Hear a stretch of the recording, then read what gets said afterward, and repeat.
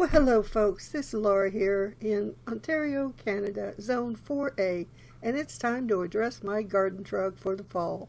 Yes, I need to get ready for fall planting. I am going to be planting Caraflex cabbage, and I've already started the seeds, and they have germinated, so it's going out. It The qualifier for this one is the best tasting cabbage, the sweetest, most tender cabbage that we have ever had in trials, and it's early too. A very popular one to two pound cabbage. Perfect for coleslaws, stir fries, etc., etc. Yes, indeed, folks. It matures in 50 days from transplanting. Oh, yeah, let's do it. To get started, I need to take the shade cloth off and the netting off and reveal what is underneath in the garden trug that I built many years ago. What's left is daikon radish. I didn't realize I had planted so many of the daikon radish. I am so happy about that. But they needed a little bit of work. They needed tying in and, you know, they were getting wild. So move over a little bit, daikon radish. Here comes the carrot cabbage. You got to make some room. But first, I must address something that I've kept hidden. It's a broken umbrella on top of a uh, oscillating fan stand. The oscillating fan broke. I kept the stand. I put the the umbrella into the stand, and then I used it for years. Well, the sun killed the material that the umbrella was made out of. It was a golfing umbrella, and it got holes. Well, the holes weren't too big, but then they got bigger. So then I put a lace curtain over the top of it for shade. Sometimes I'll use a sheet. Yes, it's, it's, it's, uh, what's the word for it? Uh, trailer trashy? when you're hot and you need shade, some might call it ingenious. I got hot. I was out there for over an hour dealing with the uh, garden trug, and I got hot. And the sun was, it was 11 o'clock, and the sun was shining right on me, and I was wearing a black shirt. I had to go in and change out of the black shirt. And I set up this thing really quickly with clothespins and threw that lace curtain over the top of this broken umbrella. And then I was in the shade, and I was able to finish dealing with the garden trug.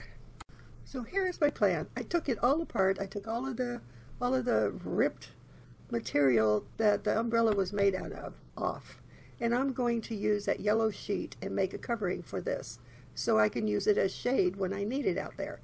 It's wonderful because I gave my daughter my patio umbrella because it never tilted and it it never shaded me when the sun was on me. So this I can move around easily on the fan stand and and the sheet will work perfectly. So I, I did take that all apart and I'm going to be working on that this afternoon. So since it was a mild day and my cabbage um, seeds germinated, I thought I'm not going to wait for the true leaves. I'm going to go ahead and plant them out in my garden trug and put a netting over them and a shade cloth so they can adjust to the ground. It's going to be cool all day today, so I thought it was a perfect day to do it. And I also make something special for my little seedlings when they're really, really young. Here, I'll show you what I did. I save my yogurt containers and I also make strips out of them for plant labels. Well, I had a bunch of strips already cut and I thought I'm going to make some colors for my cabbages. So when I water it, they don't get like knocked over and you know what I mean. Yeah, it protects them a little bit. While I was working, I noticed I had a little visitor come check out things. I guess he thought I had already gone indoors and I hadn't. we get these bugs every year. They don't have a mouth. They only have two eyes. They uh, they are food for the fish of the of the lake here, of where I live. Uh, they just fly around. They stick to everything, and if you step on them, they smell like fish. They don't bite because they have no mouth. And uh, yeah, they're just a pain. And at night, they cover the lights million. And as you can see, he was not harmed. He just flew right into my netting. I suppose I'm on a roll with uh, crafting things and seeing things and thinking, oh, I can make that. Do you know what this is for? It's a stick with a hook. So now that the netting and the, everything's off, it's time for me to set up my camera, set up my chair, because there's no leaning over for this long. No, there wasn't any leaning over for this long. And this came before I moved an umbrella in. So I got my coffee handy and I put it beside me. I had a bucket of cold water for anything that I could harvest, greens. that were not daikon radish, and I could put it in the cold water as I cleared out this bed in preparation for my Kara Flex cabbage seedlings to go in. I would have to, however, wrangle and tie and contain the daikon radish. I had never grown them before. So, and I had a couple of pots in there. There's Swiss chard in there, and there's pak choi in there in pots that I had just sitting on top of the garden trug. Why, you ask? Because I knew I was planting way too much, and if I needed to move something, it would be easier for me to move a potted plant out of the garden trug than it would be to pull up it from its roots and move it that way. And I had to inspect the daikon radish because I noticed some bug holes in it for the first time. And the reason for that is we did have a little bit of rain, which brought the earwigs. So I did find, oh, four or five earwigs and a roly-poly bug in there uh, in the garden trug that I had to dispatch and uh, get rid of it. So I thought it's time for the shade cloth to go since the bugs have found the plants and just leave the netting on so the cabbage moth butterfly hopefully can't lay eggs that drop through the netting. They can do that at times, but hopefully not. Anyhow, I was sitting there looking at what I needed to do and contemplating oh, how much bug damage there was going to be. There wasn't all that much to my surprise, and no worms, no, you know, not worms, but no, uh, no caterpillars, just earwigs, which, you know, are not as bad as caterpillars, but they're scarier. Let's just say caterpillars are cuter than earwigs, so I just sort of quickly grabbed them really quickly and flick them off.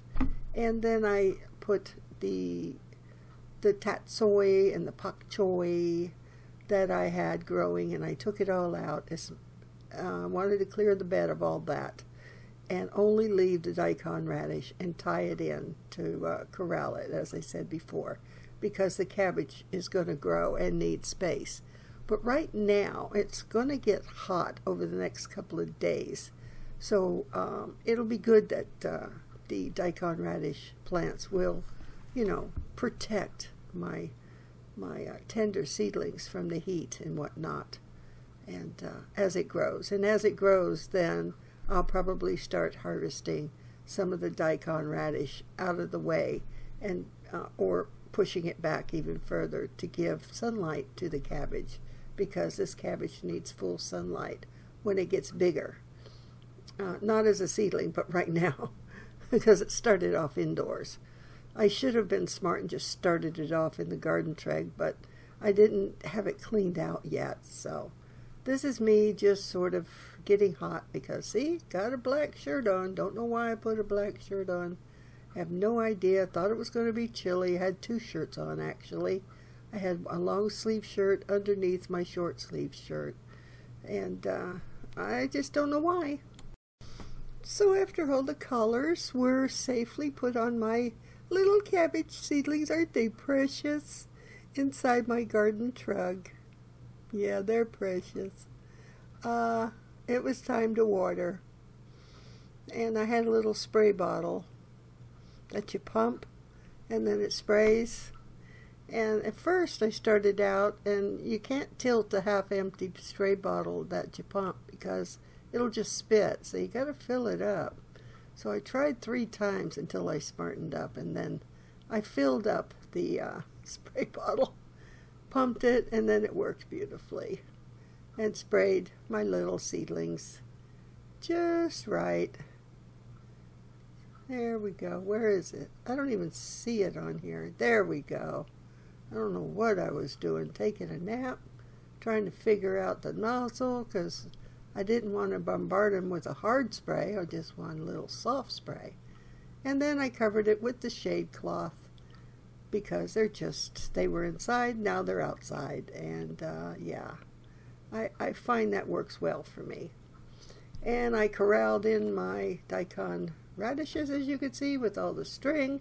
to hold them back so they're not overshading my cabbages when I remove that shade cloth.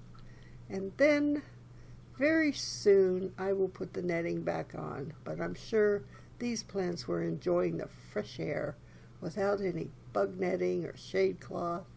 Remember that hook on a stick? Did you figure out what I was making? Well, you're going to see very shortly. What's that five, number five and number six? What is that for? What do you think that's for? That's to measure my cucumbers. Yeah, five inches, six inches. That's for cutting of the cucumbers, or three to four inches if I want to pickle them. That's what the package said. So I've been pickling them and um, harvesting about four inches, and then I pickle them. And they're only coming one at a time. I, I harvested two the other day. So there's the shade cloth, and there is the netting back on to protect my plants. I'm not putting the shade cloth over the daikon radish, nor am I putting it over the um, collard greens.